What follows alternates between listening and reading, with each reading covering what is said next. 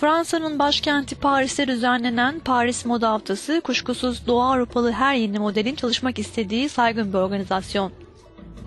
Ancak aralarında 17 yaşındaki Rus model Polina Zubskinin de bulunduğu çok sayıda genç manken bu fırsatı yakalamak için bu konuda daha az saygın Çin gibi bir ülkede çok daha fazla çalışmak zorunda. Normal uykumuzu alamıyoruz. Çünkü ertesi gün ne olacağını bilmiyoruz. Her şey her an değişiyor. Gün içinde bir iş bir saat sürebiliyor.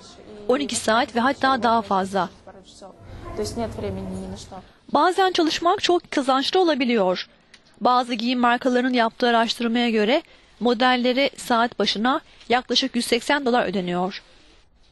Aynı durum 18 yaşındaki Lisa Kovalenko için de geçerli. Lisa Pekin'deki iş tecrübesiyle Avrupa'da yer bulmayı umut ediyor. Yaptığımız iş zor ancak tecrübe de elde ediyorsunuz. Bu tecrübe Rusya ve Ukrayna gibi ülkelerden gelen mankenlerin Avrupa'daki moda dünyasında yer edinmesi için çok önemli. İyi para kazanıyorsunuz. Buraya herkes para için geliyor.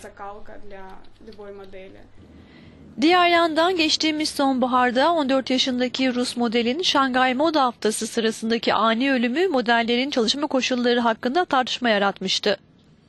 Modelin çalıştığı ajansa modelin uzun saatler çalışması iddialarını yalanlamıştı.